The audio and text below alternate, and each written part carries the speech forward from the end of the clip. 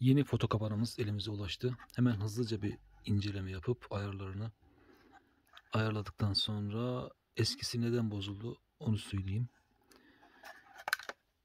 Ebat olarak eskisinden sanki biraz küçük gibi.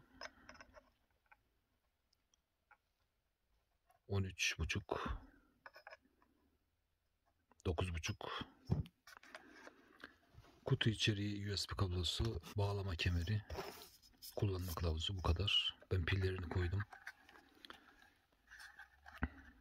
Tasarım biraz değişmiş. Şuradan ortaya getiriyoruz. Hemen menüye girelim. Mod en ideali kamera artı video. Çünkü sadece kamera olursa video çekmez. Sadece video olunca peş peşe video çektiği için pilleri bitiriyor. Dil Türkçe yok. İngilizce ile devam ediyoruz. Fotoğraf çözünürlüğü 5 megapiksel iyidir. Yükseldikçe hafıza yetersiz kalır. Videoda 720p idare eder. Bunlar hep e, hafızayı doldurmamak için. Fotoğraf e, bir tetiklemede bir fotoğraf çeksin diyoruz. Çünkü eskisini 3 fotoğraf çeksin dediğimde e, cihaz kafayı yiyordu. Belki bu da aynı şeyi yapar diye bir fotoğraf seçtim. Bu video e, kayıt uzunluğu 10 saniye iyidir. Fazlası olursa atıyorum rüzgardan bir ot yaprak kımıldar ve boşuna 15 saniye 30 saniye çeker. Bakalım en fazla ne kadar çekiyor. 30 saniye. Biz 10 saniye yaptık. Bu aradaki boşluk 1 dakikaya kadar boşluk veriyor. En az 5 saniye.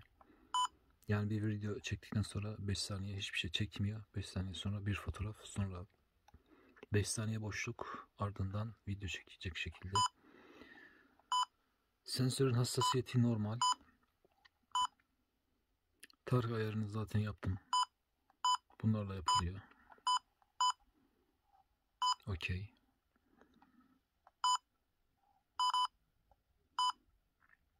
Bu tarihi fotoğrafa yazsın onun seçeneği. Sesi kapatabiliriz.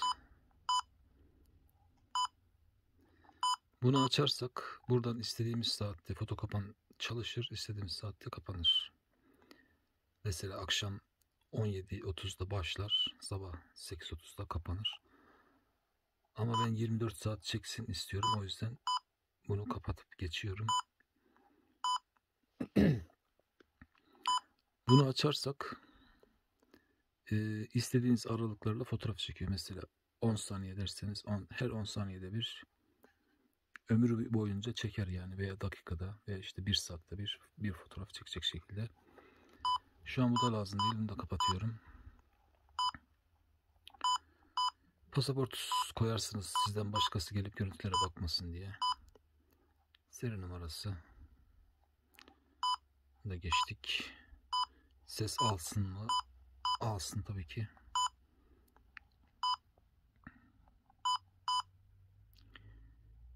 Motion sensör açık SD kart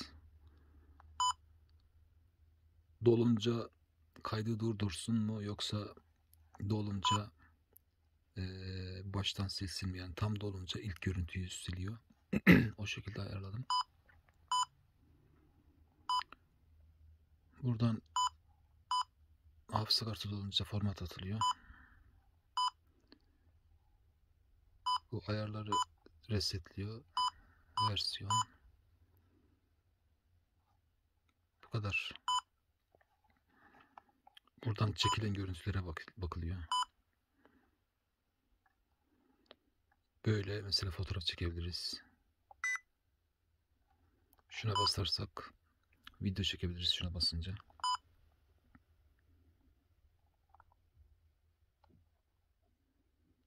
Durdurduk. Bu neymiş? Şimdi kayıtlara bakalım.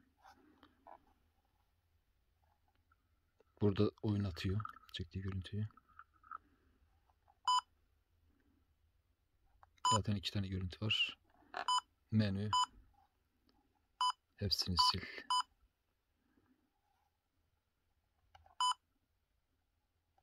Evet şu an fotokapan kurulumu hazır. Bunu 10 konumuna getirdiğimiz zaman 15 saniyelik süre başlıyor. Kırmızı ışık yanıp sönüyor.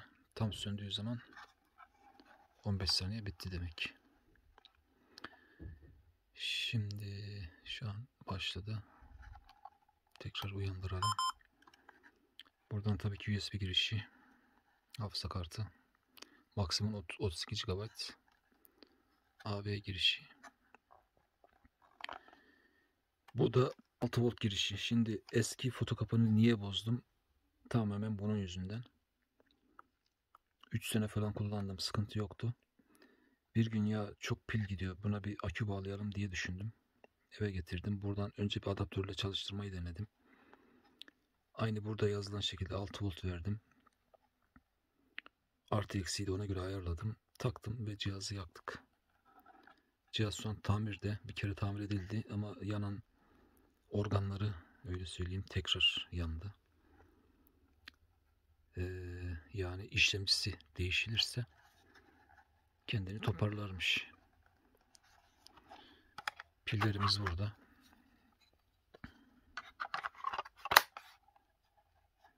Bu kadar. Ortadakine ayar yapıyoruz. Ve bağladıktan sonra 10 konumunu alıp olay yerini terk ediyoruz.